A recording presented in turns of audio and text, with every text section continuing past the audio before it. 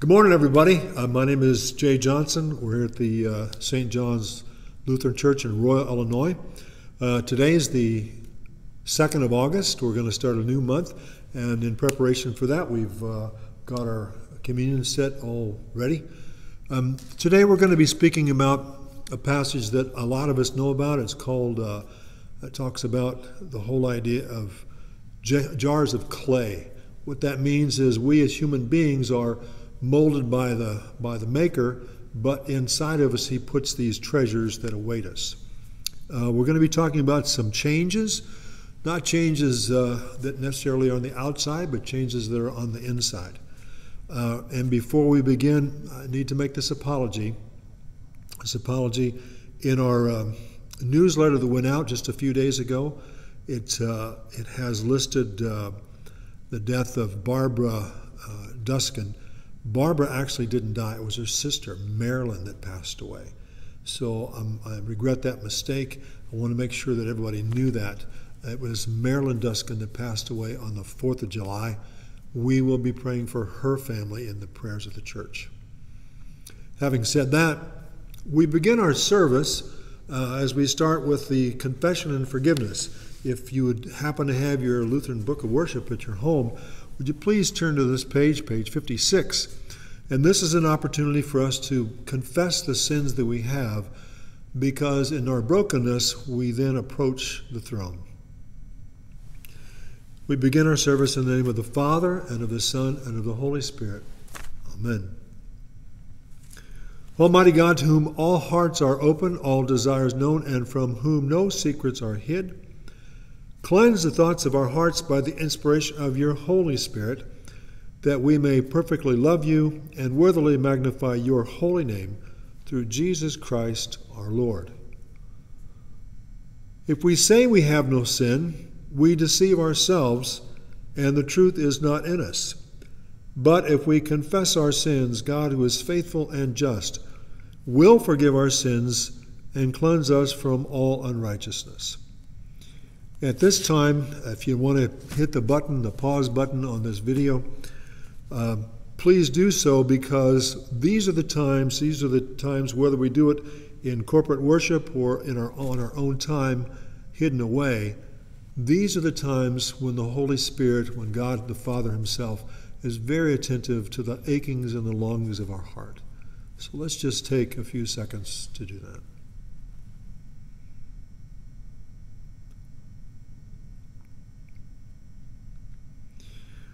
Most merciful God, we confess that we are in bondage to sin and cannot free ourselves. We have sinned against you in thought, word, and deed, by what we have done and by what we have left undone. We have not loved you with our whole heart. We have not loved our neighbors as ourselves. And for the sake of your Son, Jesus Christ our Lord, have mercy on us. Forgive us, renew us, and lead us, so that we may delight in your will and walk in your ways to the glory of your holy name. Amen. Almighty God, in His mercy, has given His Son to die for us, and for His sake, He forgives us all of our sins. To those who believe in Jesus Christ, He gives the power to become the children of God and bestows upon them His Holy Spirit. Amen. We'll now have a time of uh, scripture reading. Jackie, would you please uh, come and join me as we as we go to the passages from Second Corinthians and the book of Matthew. I want to read this part, part 1st mm-hmm. Oh, me. We are constantly reminded that as our faith grows, as our eyes are opened to the glory that God provides, He gives us the strength to live in the power that the Spirit readily provides. From 2 Corinthians You show that you are Christ's letter delivered by us. You weren't written with ink, but with the Spirit of the living God. You weren't written on tablets of stone, but on tablets of human hearts. All of us are looking with unveiled faces at the glory of the Lord as if he were as if we were looking in a mirror. We are being transformed into that same image from one degree of glory to the next degree of glory. This comes from the Lord who is Spirit. The very next verse says, This is why we don't get discouraged, given that we have received this ministry in the same way we have received God's mercy. Instead, we reject secrecy and shameful actions. We don't use deception and we don't tamper with God's word. Instead, we commend ourselves to everyone's conscience in the sight of God by the public announcement of the truth. The God of this age has blinded the minds of those who don't have faith so that they couldn't see the light of the gospel that reveals Christ's glory. Christ is the image of God. God said that the light should shine out in the darkness. He is the same one who shone in our hearts to give us the light of the knowledge of God's glory in the face of Jesus Christ. But we have this treasure in jars of clay, so that the awesome power belongs to God and doesn't come from us. We are experiencing all kinds of trouble, but we aren't crushed. We are confused, but we aren't depressed. We are harassed, but we aren't abandoned. We are knocked down, but we aren't knocked out. We always carry Jesus' death around in our bodies so that Jesus' life can also be seen in our bodies. We who are alive are always being handed over to death for Jesus' sake, so that Jesus' life can also be seen in our bodies that are dying. Matthew chapter 10. As we talk about what it means that we share, this is what 19 says. Don't worry about how to speak or what you will say, because what you can say will be given to you at that moment. You aren't doing the talking, but the Spirit of my Father is doing the talking through you. Here ends the gospel. Thanks be to God. Thank you, Jackie.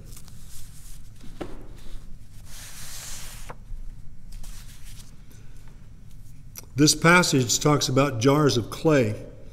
Those jars of clay are fragile, they're easily broken. They are unique, uh, unique creations of the potter himself. And though that potter has created each one of us as that chosen vessel. We may not be the most elaborate, we may not be the most beautiful, but we are produced and created to do the purpose of God's will. On the front of the bulletin that uh, we'll be passing out tomorrow, there's an image of these jars. These jars are actually the jars that were created to hold the Dead Sea Scrolls. Now, the Dead Sea Scrolls were incredibly valuable for us to have. I say that because they came to light 2,000, over 2,000 years after they were left in those jars. Now, the really interesting thing about those particular jars that held the Dead Sea Scrolls, they were made specifically to hold the scrolls.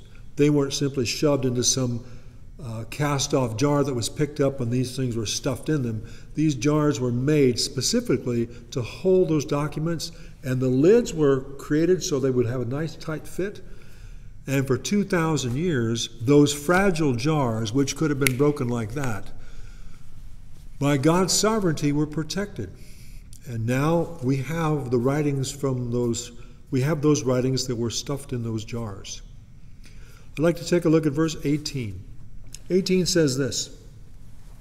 Um, yes. It says, All of us are looking with unveiled faces at the glory of the Lord as we were as we were looking as if we were looking in a mirror.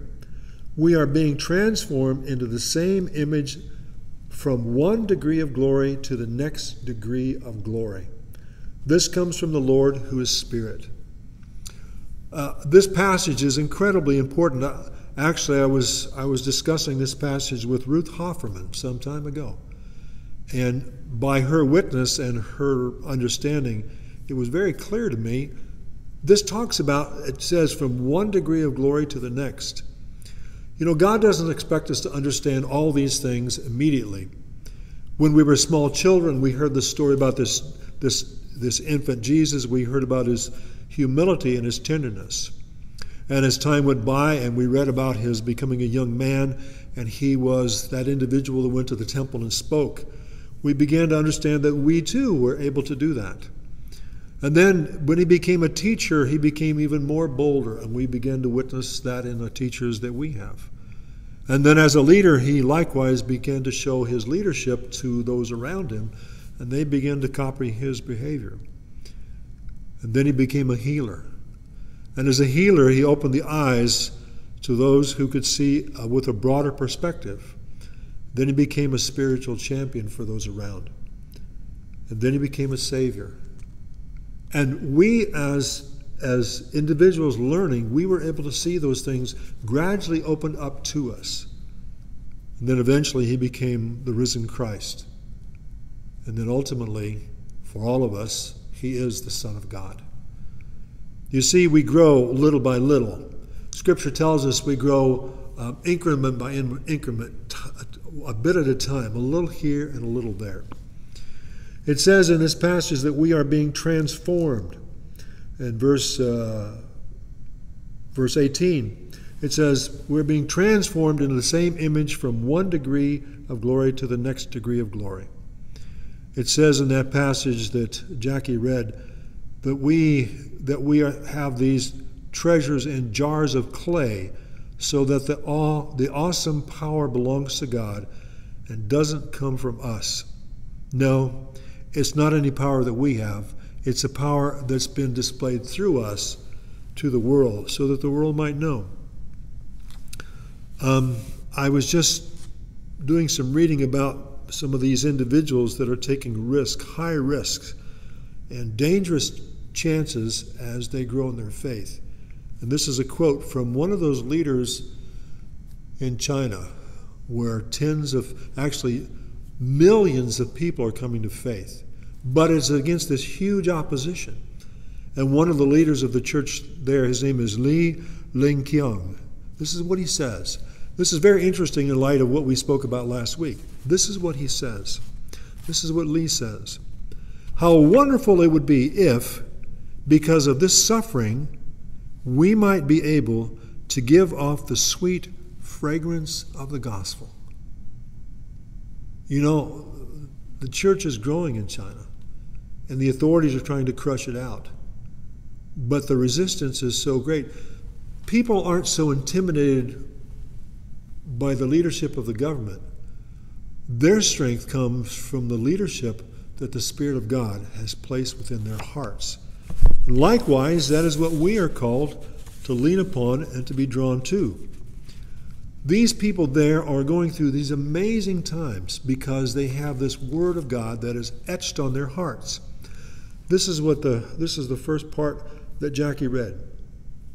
You show that you are Christ's letter delivered by us. You weren't written with ink, but with the Spirit of the living God. You weren't written on tablets of stone, but on the tablets of human hearts. Isn't that incredible? Isn't that amazing?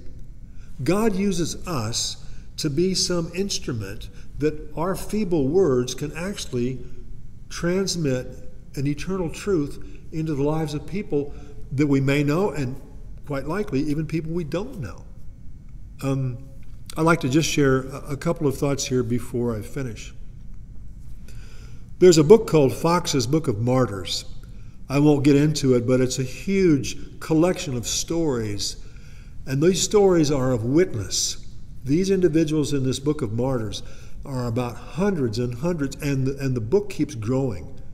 There are so many individuals in that book whose lives we, we sit back and we, we stare across, across time and we think, how bold that was.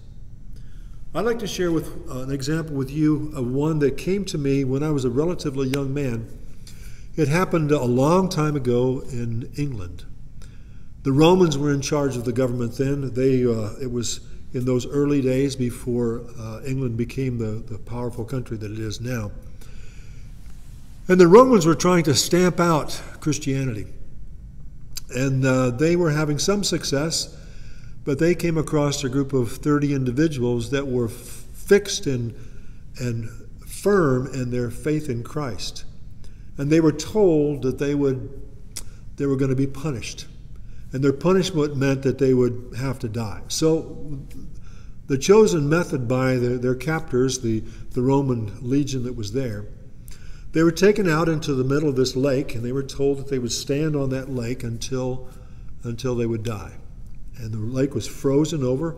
It was bitter cold. Uh, to prevent any of those individuals from escaping, uh, they put, they put uh, some soldiers around lest anybody try to escape. And as those soldiers stood there and they watched these, these Christians uh, freeze, one by one, those soldiers left and their place was taken, so they would have a contingent of a contingent of individuals that would keep them from fleeing. And those those Christians, they stood out there on the ice, and they began to sing.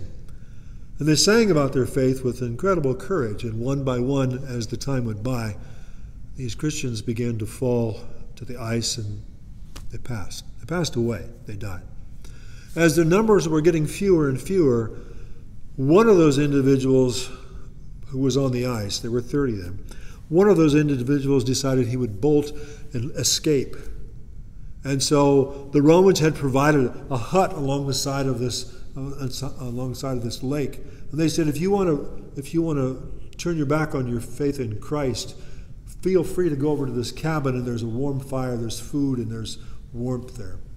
And so one of those individuals left that that place out on the ice because they didn't want to die. They didn't want to freeze to death. And they bolted off the ice, and that individual went into that cabin, and the, the force of the heat, which was such a, such a huge shock to his body, that man passed. But the interesting thing was, there was another soldier that was standing there, and he watched, and he looked, and he was convicted. Why? Because as this passage says, you are Christ's letter delivered by us. You weren't written with ink, but with the Spirit of the living God. You weren't written on tablets of stone, but on tablets of human hearts. And one of those young soldiers, as he stood there, he saw what had happened. And he could still hear a number of those Christians out on the ice still singing. And so, without hesitation, he took off his tunic and he laid it on the ground. And he took off his cloak and he laid it on the ground. And he decided he'd walk out there. And as he walked out across the ice, can you imagine what those, those Christians that were left were thinking? What is this? Why is this man coming? Now, history does not record what that man said when he got there. It does not record what any of those Christians on the, on the lake said, but I've got a pretty good idea. They probably said something like, Welcome, brother. And the Roman, the ex Roman soldier, he probably walked out and said, I'm not sure what this is all about, but my time is short. Would you please tell me what's moving inside my heart that compels me to be with you? Because I want what you have. I don't have it there on the shore, but I will have it with you.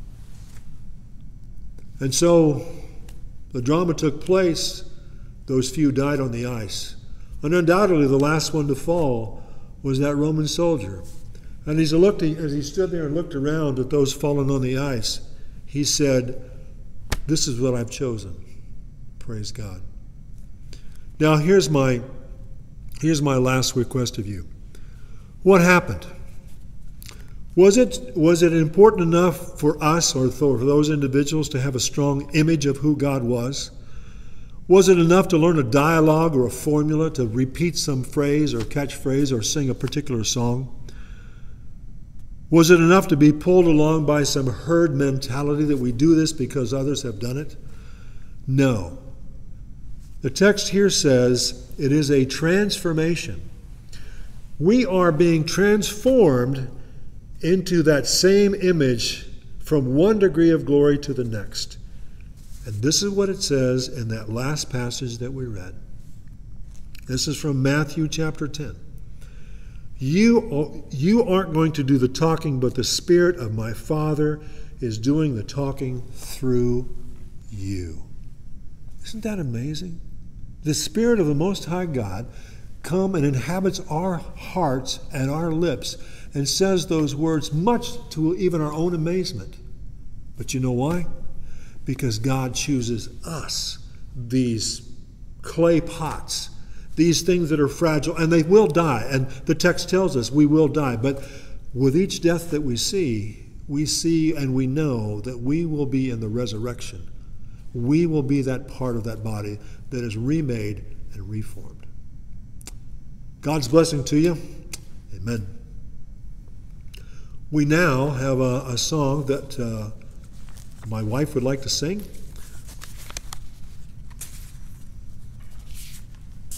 Thank you, Jackie.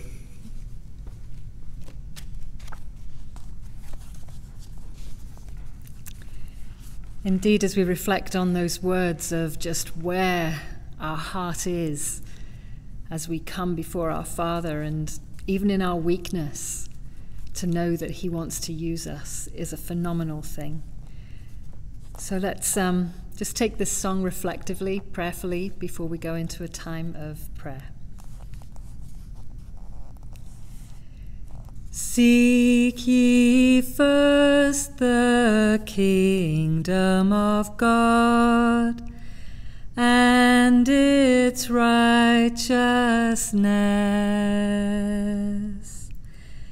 and all these things shall be added unto you. Alleluia, Alleluia. Ask and it shall be given unto you. Seek and you shall find. Knock and the door shall be opened unto you. Alleluia, Alleluia. We do not live by bread alone, but by every word that proceeds from the mouth of God. Alleluia, Alleluia.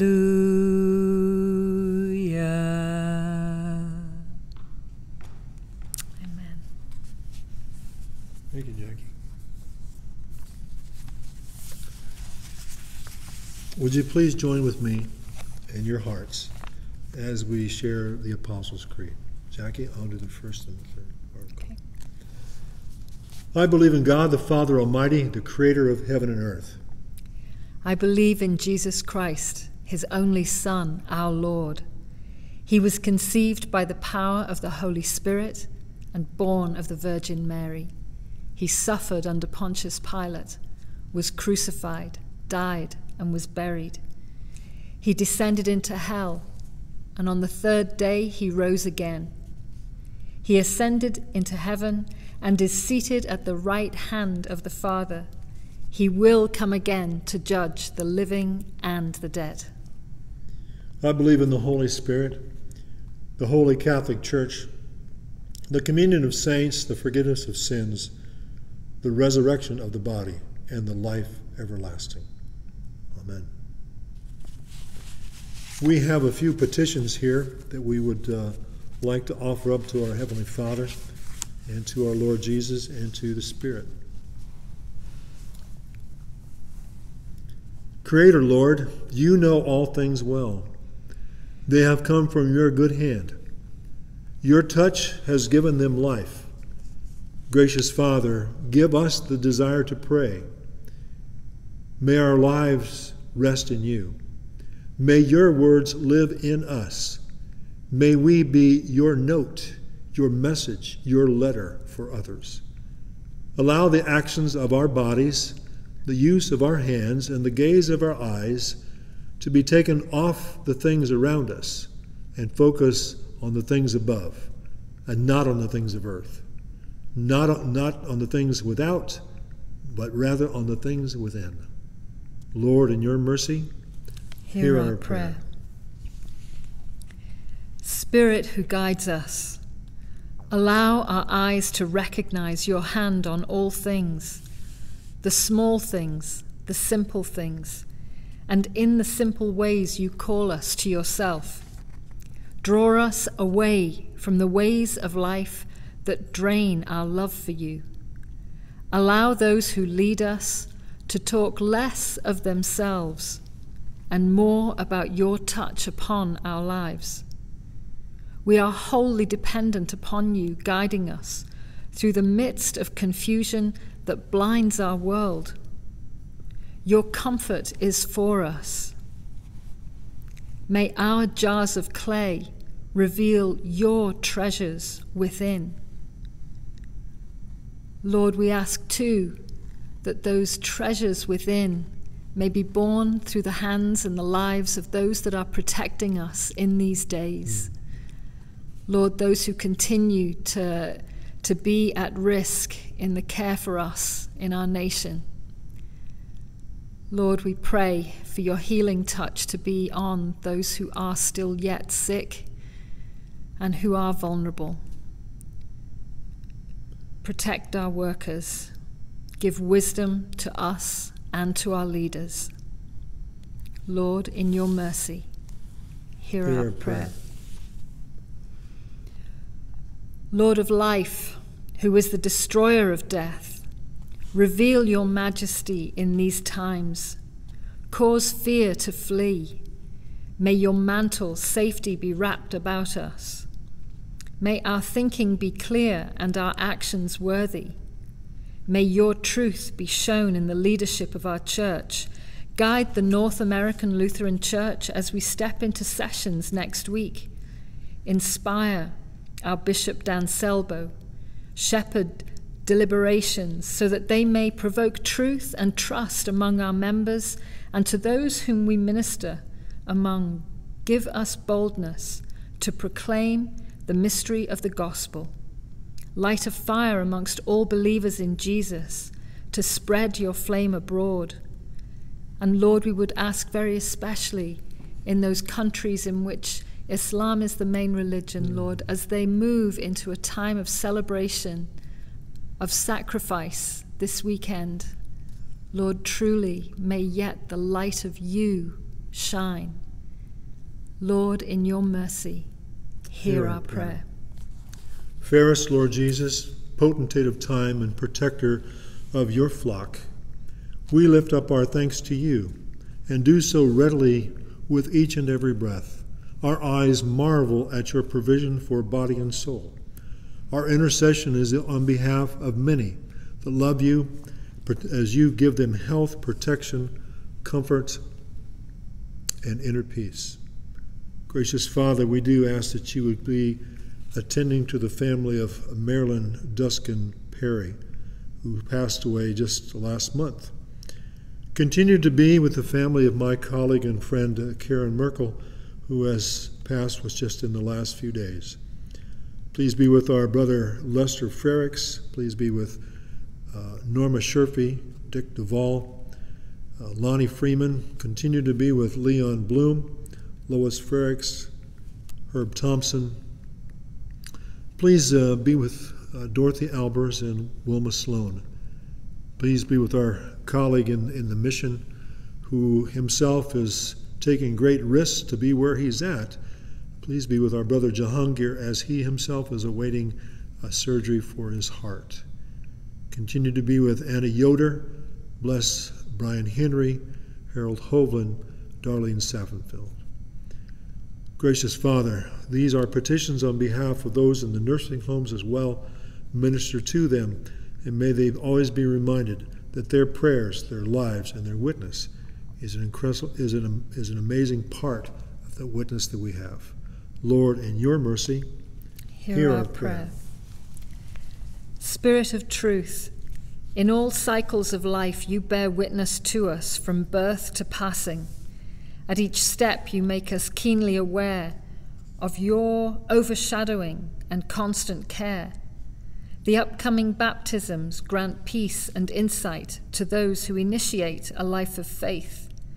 For our confirmands, Talon Miller, Caleb Oakes, and Cole Pruitt, guide their steps in the days ahead, and may your abiding word be a light at future crossroads. For those couples who will soon join their lives together, be the bond that quickens their hearts and guides their words among family and those who will become family. For the many anniversaries and the children that we will welcome into our fellowship and into our world, Lord, in your mercy, Hear, hear our our prayer. Eternal source of strength, the one who we call Almighty. We ask that you would cause all of us, when things seem to be tumbled down and confused, that we would remember the words of Genesis chapter 1, which spoke of how there was chaos, and when you spoke, order was fixed. We celebrate you. Be in our nations, so direct your spokespeople, your spokesmen and women, to gain the ear of officers, officials, great and small. May puzzles be solved, confusion be quieted, wranglings be soothed, tensions eased, and praises be raised, because you deserve our obedience and our constant attention. With profound clarity, our Lord Jesus gave us a simple plan for addressing you as we ought holy, royal, sovereign, provider, and majesty. And we honor you with these words Our Father, Who art in heaven, hallowed be thy name. Thy kingdom come, thy will be done, on earth as it is in heaven. Give us this day our daily bread, and forgive us our trespasses, as we forgive those who trespass against us. And lead us not into temptation, but deliver us from evil. For thine is the kingdom, and the power, and the glory, forever and ever. Amen. Thank you, Jackie.